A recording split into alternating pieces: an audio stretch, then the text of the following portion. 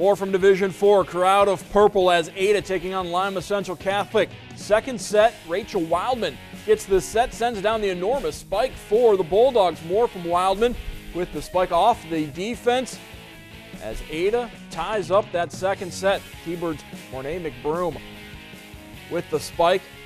LCC with momentum as LCC would get the upset. They sweep Ada as the T-Birds get the win. Nice win for West Horseman and company. And for all you Spencerville and